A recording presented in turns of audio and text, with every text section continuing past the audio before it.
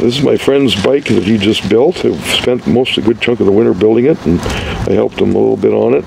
And we're out here going to take it out for its for its first cruise. So I'm going to have him tell you a little bit about it. So what we got here is a uh, have a couple of these frames. Uh, this is a 47 Western Flyer, and uh, got a, a retro seat for it. Uh, everything, the the frame, uh, the uh, fenders, they're all original. Uh, I got a Mega Monarch front fork on it, so that's a Mega one. Uh, I put also uh, a drop piece right in here so the mechanism can work. I know a lot of a lot of people are not getting that one right.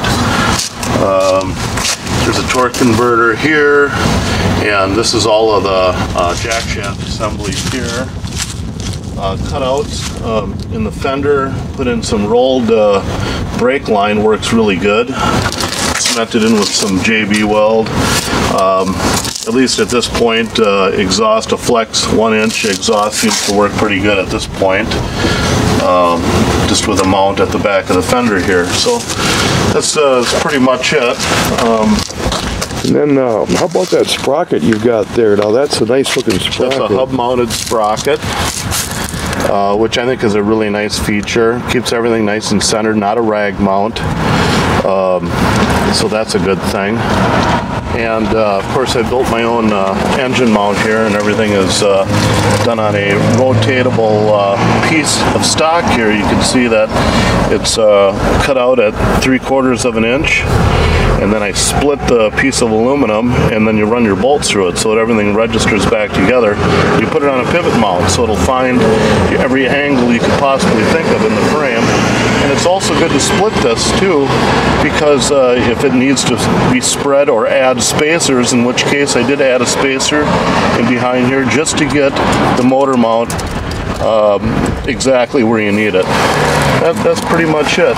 This is all homemade here. I find that if you don't use the old uh, forged um, cranks, the newer um, Japanese or Chinese cranks, you can cut down and re-weld back on so you can get this exactly where you want it. And then uh, also Easy Motorbike has uh, these extensions you can buy. So that's a really good feature.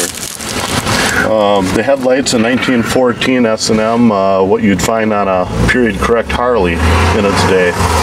So um, eh, that's, that's about it. Well, then, how about now your now your engine here? You've got a real Honda on here, Yeah. and it's a 120 GC or GX. GX, GX. yes. And then you've also got something else done here to the carburetor. You've got a uh, remote uh, tunable carburetor that comes out over here so you can adjust your main metering. Very Yeah. nice. And then now your wheels. Now they're a lot heavier duty than a regular bike wheel. those are Worksman wheels uh, with a CB110 Shimano uh, rear hub really nice hub nice and stealthy uh, same with the front the front one happens to be black and the one the back one has to be uh, uh, chromed but uh, that can be painted I suppose. And you've so, got the drum brake up front there, I see. yes So uh, very nice. And then, uh, well, let's see. I guess it's time to fire it up and see how it drives. I think you need to hold the throttle. Let me hold the throttle up while you crank it. well, I don't want this thing to take off on me No.